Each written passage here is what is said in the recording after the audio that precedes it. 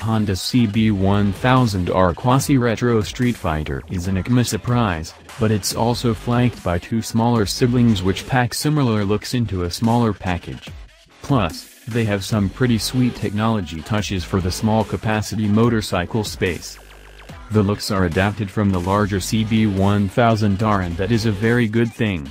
In a trend we're seeing this year from Husqvarna, Ducati, and Honda, retro hues are being fused with more modern finishes to create something that is both readily familiar and refreshingly new.